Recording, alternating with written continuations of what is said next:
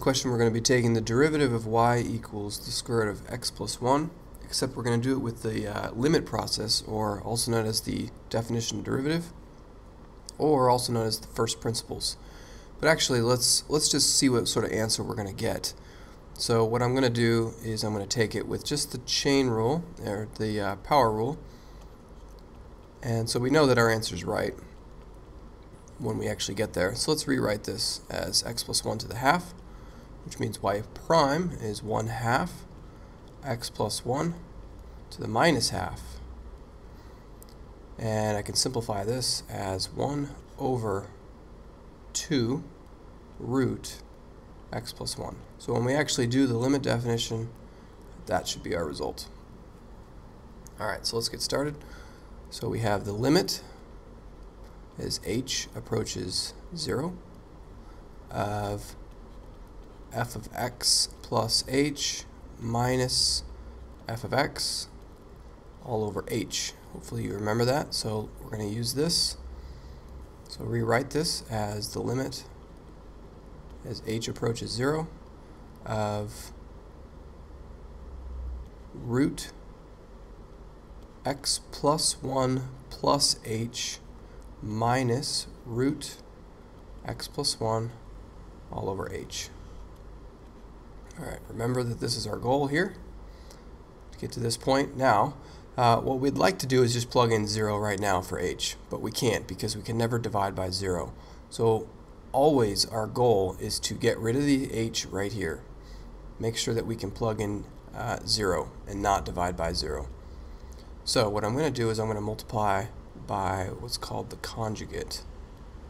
So it's the exact same thing except plus. But I have to multiply by 1, which means i got to do it on the, both the numerator and the denominator, so I don't actually change the value. Okay, so because these are, uh, you can see this in the numerator here and the numerator here, these are, um, it's a perfect square. Sorry, it's difference of two squares. So I'm going to multiply this by this, this by this, this by this, and this by this. We're going to get this piece times this piece and this piece times this piece are going to be the same, but they're going to be the opposite, so they'll be they'll subtract from each other. So that's the whole purpose of this, to get rid of that. And this piece squared will be just x plus 1 plus h. And then this piece squared, the minus though, minus x plus 1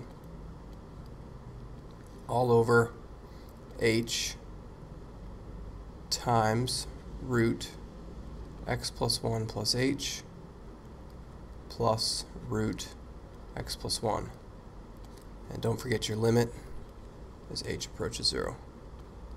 Okay, so let's simplify this now. Almost done. Limit as h approaches 0.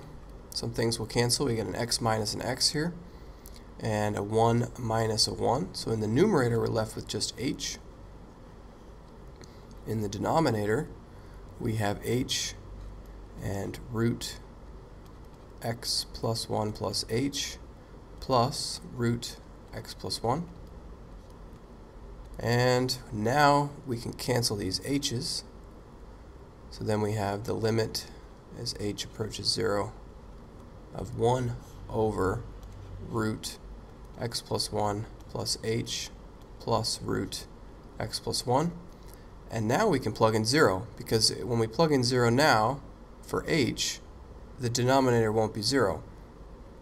So if we plug in 0, which means as soon as you plug in 0, you don't have to write the limit anymore, we'll get 1 over root x plus 1 plus root x plus 1, which you know to be 1 over 2 root x plus 1.